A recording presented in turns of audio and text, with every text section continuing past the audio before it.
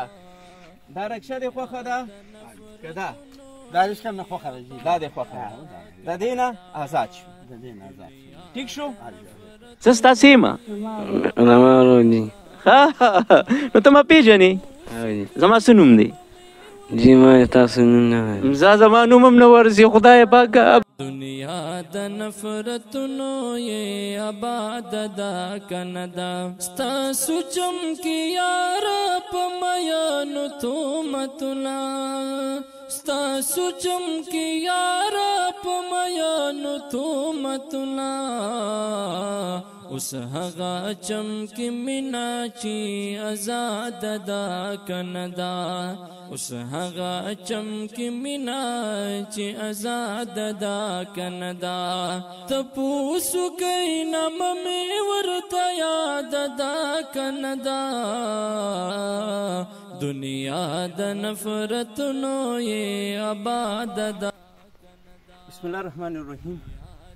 قدرمنو د حاجي بابا کور ته ورسېدو حاجي بابا زمونږ هغه بابا دی څوک چې د اتیا کالو په عمر کې خرګاډې چلی ناڅاپي مو له د رکشه راوستې ده دا ورته په حواله کوو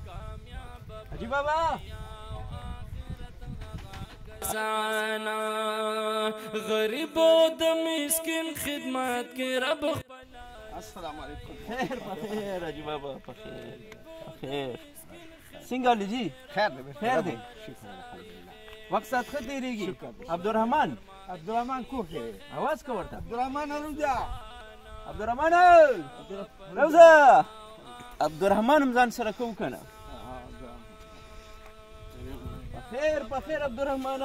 جوړ تکړه خوشاله څنګه چل دی خیر دی خی کنه جوړي او زه څنګه خیمه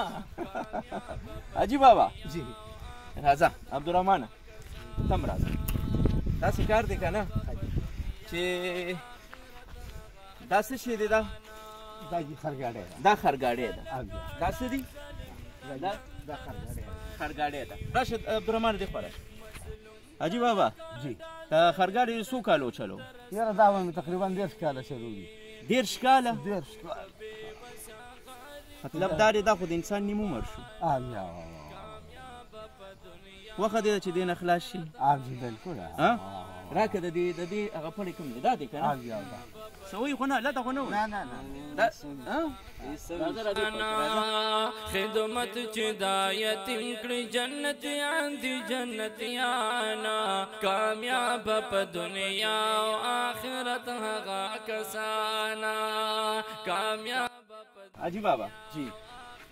دا پړې ونیسه ښایي دا د نن نه پس الله پاک د دې پړې نه خلاص شکر الحمد ټیک ده دا چابي واخلي صحیح ده اوس راته ووایه دا رکشه دې خوښه ده که ده دا رکشه مې خوښه ده جي دا دې خوښه ده د دې نه ازاد شو د دې نه ازاد شو ټیک شو رکشه دې مبارک شه راشه بابا راشه راشه راشه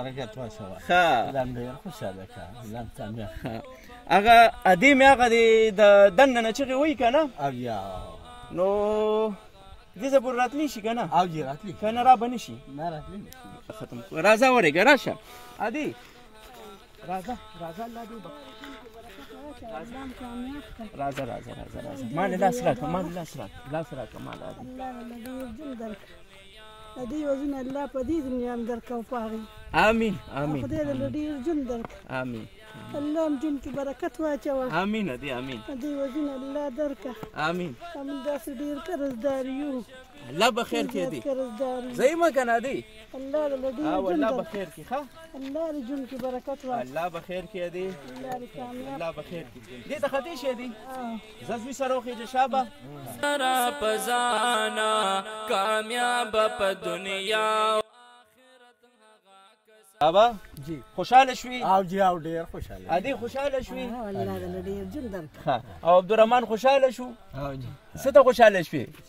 چینچه ته ها بابا دلته ګرمي ده کنه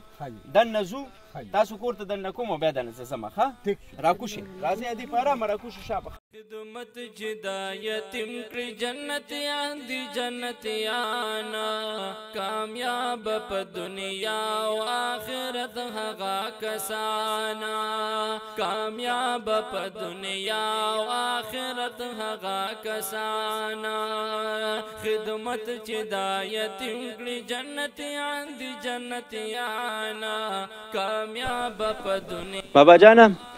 یو ځل خو دې بیا مبارک شه او تاسو سي روزه کې وې او یې سي روزه کې ما ډیره بخنه غواړم خو بس تاسو دا کار ضروری وو دا کار ضروری کنه او د الله پاک چې کوم دی رحم وکړو زړه دې خوشاله شو او یا بالکل دواګانې بل تکو ډیر زیات خوشاله شو د خرګاډي نخلا شو چې ان شاء الله الله پاک راکړه ریش کر الله راکړه نو پدې کې به ان شاء الله تاسو می سي زموږ هم پکې سي ان شاء الله ان شاء الله بابا جان قرض دی څومره دی قرض قرض جی بس یو لاک روپۍ دی تقریبا دا خیر خیر بس پرو بس څومره دی یو لاک روپۍ دی جی یو لاک روپۍ ها بیا ها دغه ډوکی به د من لاس پک کی ښه سیروزه ته چوس واپس لاړ شي موږ ته بدواګانې کې او ډېر ډېر بیګا مم ډېر کړی دي او اوس پر ته بیا مو کوم مرګرو ته به مو یم او مرګری ان شاء الله سیروزه کې د شپې پاسي او په هغه کې به مرګلو ته ویم چې ټول زما د میرونو ته دوا وکړه دا زما او د چې کوم ډېر په سخته ګرمه کې مال را لیل او ګاډې مر را راو خیر دی خیر دی بابا الله دې الله دې زموږ دا ګرمي نصیب کی الله دې په موږ دا ګرمي مسانه کی او الله دې موږ د قیامت تر ورځې د ګرمۍ نو ساتي ادي تاسو څنګه یې اوس خو یو الله دې ډیر جون درکړه دا سنا جوړه مدر لا باندې راځي بیګاره باندې ټول شپه خوړلې ده الله به خیر کې دی اوس سنا څه بدل دروازې د دین راضی کنه او دا قرض به دې الله خلاص کی او د عمرې خواهش په دې الله پاک برابرې ښه الله دې ډیر جون درک الله هم جون کې برکت واچو الله هم دینه دنیا دوانه خشته کا دا دې دا دې دا دوا دین او دنیا زما د بابا دې چپلې ته خیال شو بابا دا ولې بابا دا او کمزورې به ډېره زه زه یم چې دا پاتې زندګي زه ټوله په تبلیغ کې تېره کړم او کومرې له الله پاک بوتلم الله په دې به ډېر زما آخرت ښایسته شي راسره به تاسو په ښایسته شي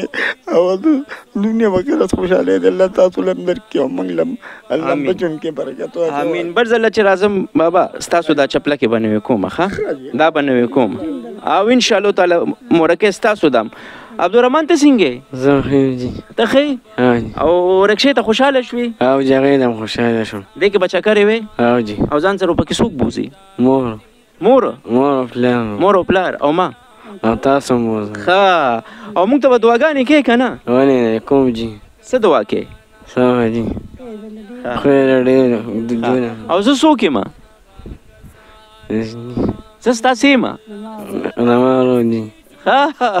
نو ته ما پیژنې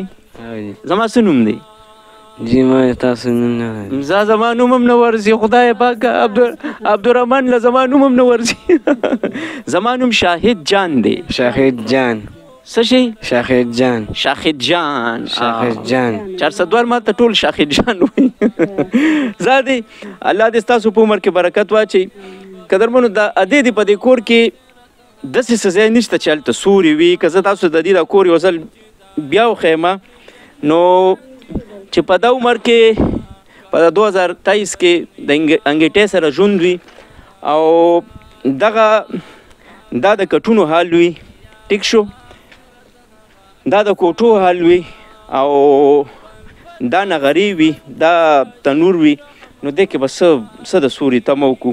خو ما د بابا تړوان دی مو مل الله پاک به دا کرس خلاص کی الله پاک په مهربان شي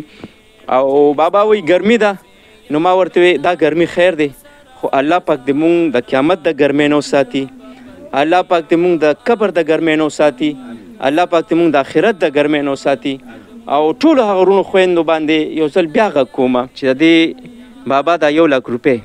دا قرض ختم کو او دې بابا سره د خپل وسه پورې مونږ مونږ تاسو خپل لاس امداد وکړو باور وکړئ دا سپلې دا دا نه ده دا د ژوند ډېر سخت تصویر دی چې په دغه تصویر کې مونږ غواړو چې مونږ په دغه تصویر کې رنگ واچو خو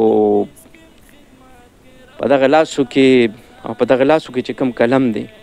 دا به تر کومې پورې رنګونه اچي دا به تر کومې پورې داسې ګرځي هیله لرم چې ټول به د بابا جان سره ودرېږو